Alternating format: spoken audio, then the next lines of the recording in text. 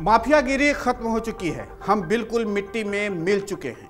हमारा परिवार बर्बाद हो गया अब तो मिट्टी में मिलने के बाद रगड़े जा रहे हैं। मैं सरकार से कहना चाहूँगा कि आप मेरे घर की औरतों और बच्चों को परेशान करना बंद कर दीजिए।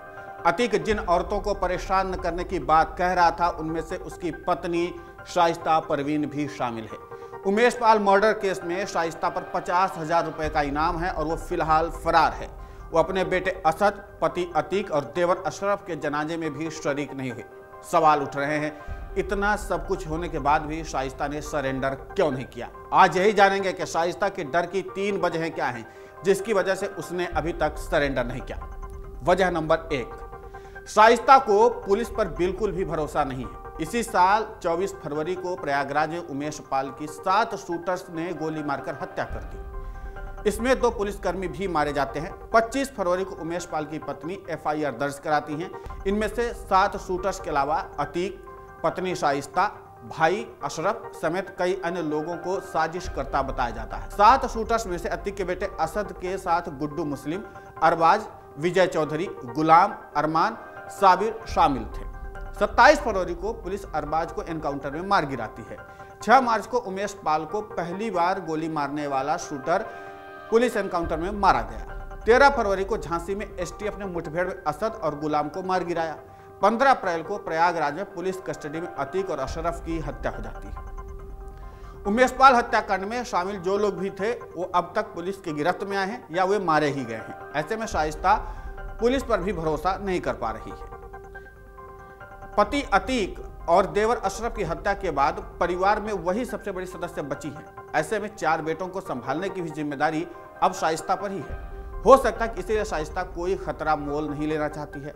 यही वजह है कि शाइस्ता बेटे असद और पति अतीक के जनाजे में भी शामिल नहीं। अब वजह नंबर दो, शाइस्ता किसी शूटर के साथ है जो सरेंडर नहीं होने दे रहा है। यह भी अपने आप में एक बड़ा सवाल है और बड़ी वजह निकलकर सामने आ रही है। उमेश पाल हत्याकांड में शामिल तीन शूटर्स अभी भी फरार हैं। इनमें से गुड्डू मुस्लिम, अरमान और साबिर शामिल हैं। वहीं उमेश पाल हत्याकांड की साजिश में शामिल अतीक की पत्नी फरार है। पुलिस ने उस पर पचास हज़ार रुपए का इनाम घोषित कर रखा है।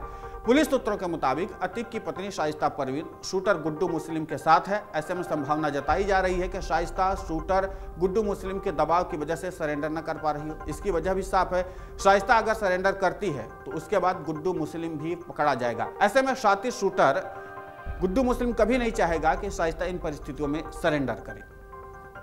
वजह नंबर तीन, शाइस्ता को अतीक के काले कारनामों की पूरी जानकारी। इसी साल यूपी के ADG law and order Prashant Kumar ने बताया था कि अतीक और उसके परिवार की ग्यारह करोड़ रुपए की संपत्ति जब्त की जा चुकी है। ईडी ने बुधवार को प्रयागराज में माफिया अतीक अहमद और उसके करीबियों के पंद्रह ठिकानों पर छापेमारी की थी। ईडी ने इस दौरान चौरासी लाख अड़सठ हज़ार रुपए कैश, साठ लाख की गोल्ड डायमंड ज्वेलरी, दो दशमलव आठ पाँच करोड़ रुपए के कागजात जब्त किए थे।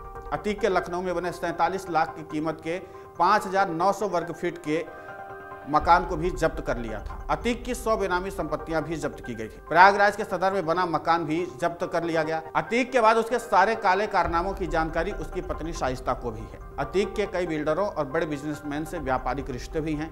इन लोगों ने अतीक के काले धन को अपनी कंपनियों में लगाया है। संभावना जताई जा रही कि ऐसे ही कुछ सफ़ेद लोगों ने अपना राज खुलने के डर से अतीक की हत्या करवाई है। ऐसे में शाइस्ता को भी डर है कि वो इस वक्त अगर सरेंडर करती है तो उसकी जान को भी खतरा हो सकता है। ऐसे में शाइस्ता अभी सही समय का इंतज़ार कर रही है। अब यह है कि शाइस्ता को गिरफ़्तार करने के लिए यूपी पुलिस कहाँ कहाँ और किन किन राज्यों में ज़ीरो इन किया हुआ जहाँ से शाइस्ता को गिरफ़्तार करने की प्रोसेस या वहाँ पर उसको पकड़ने की संभावना ज़्यादा है। सूत्रों के मुताबिक पुलिस ग्रेटर नोएडा, मेरठ, दिल्ली, ओखला और पश्चिम बंगाल के ठिकानों पर शाइस्ता परवीन की तलाश कर रही है।